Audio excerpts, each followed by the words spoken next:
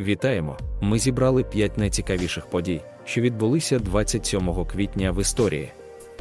27 квітня 1289 року мамлюкський султан Калаун захопив місто Тріполі, поклавши кінець графству Тріполі. Графство було засноване наприкінці 11 століття Раймондом IV Тулузьким, який супроводжував перший хрестовий похід до Святої Землі. Наприкінці 13 століття статки графства почали падати, оскільки імперія мамлюків, що базувалася в Єгипті, почала розширювати свою територію та здійснювати свій вплив на Левант. У 1289 році Калаун розпочав масштабний напад на Тріполі, який став останнім оплотом хрестоносців у Леванті. Падіння графства стало значним ударом по присутності хрестоносців у святій землі.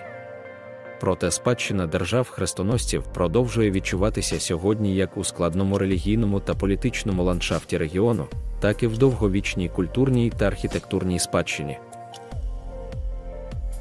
27 квітня 1509 року папа Юлій II видав папську буллу, в якій відлучав Венеціанську республіку від католицької церкви.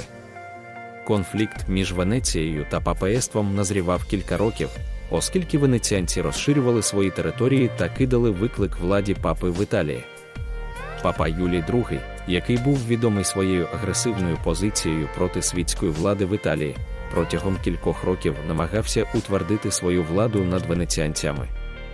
Папа сформував Лігу Камбре, коаліцію європейських держав.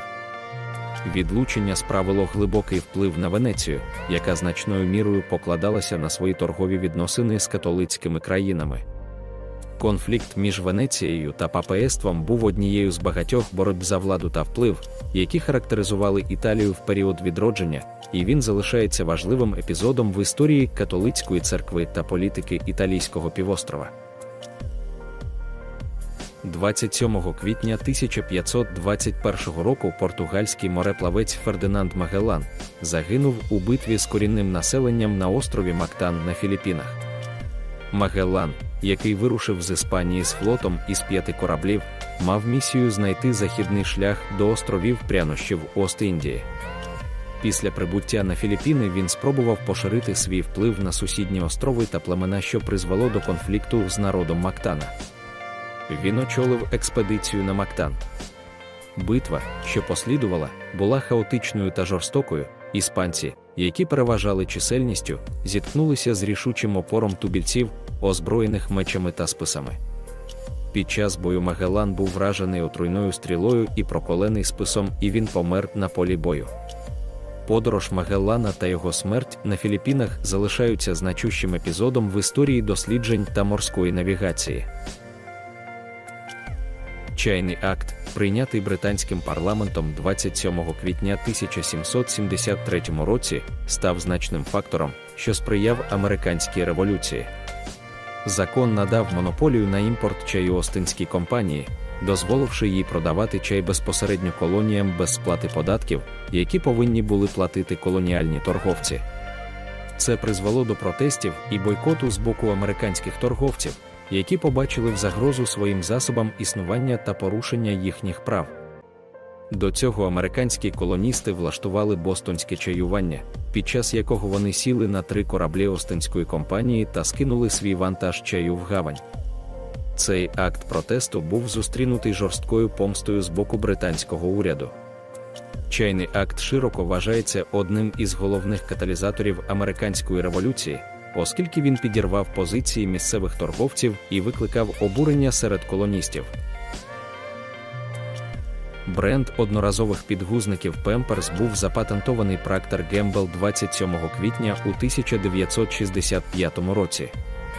До винайдення одноразових підгузників батьки були змушені покладатися на тканині підгузники, які потрібно було прати та сушити після кожного використання.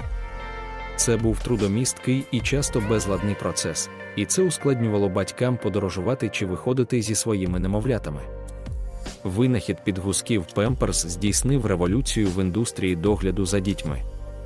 Одноразові підгузники були виготовлені з НАДП оглинаючого матеріалу, який міг утримувати рідину в кілька разів більше своєї ваги. Пемперс швидко став популярним вибором серед батьків. Сьогодні одноразові підгузки є повсюдною частиною сучасного виховання дітей, а Пемпер залишається одним із найвідоміших і найнадійніших брендів у галузі. Дякую за перегляд. Чекаємо на вас завтра. А поки переходите на наш телеграм-канал за посиланням в описі. Якщо бажаєте відправити подяку авторам та профінансувати розвиток каналу, також в описі є посилання на декілька можливих варіантів для цього. На все добре, бережіть себе, мирного усім неба!